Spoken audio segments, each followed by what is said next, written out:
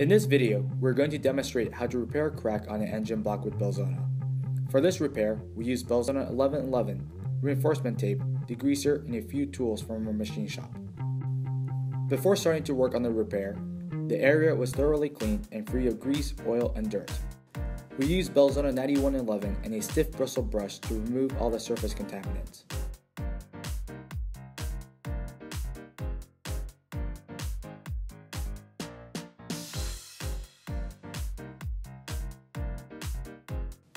We then terminated all the cracks by drilling holes along the length of each crack and at their ends. This helps stop crack propagation.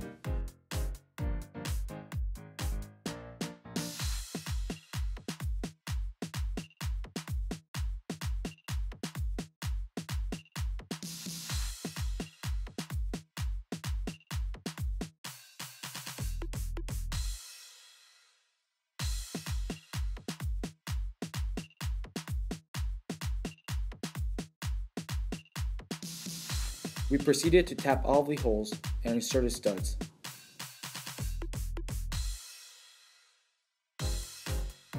Using a grinder, we cut all the studs flush with the casing. Next, we V'd out all the cracks and roughened the entire repair area to ensure excellent adhesion.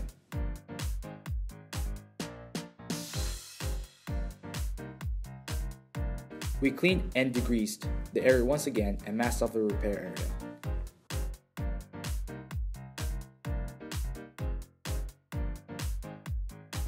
We then measured and cut a piece of Belzona reinforcement tape to match the masked off area.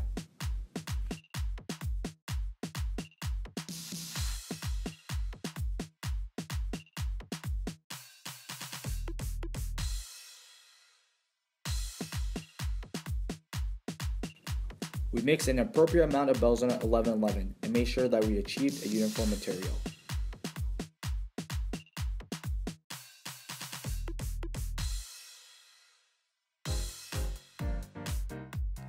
We applied a layer of Belzona 1111 to the repair area, pressing firmly with a stiff bristle brush to ensure full contact with the surface. We then wetted out the reinforcement tape with Belzona 1111 and applied it to the repair area using an applicator.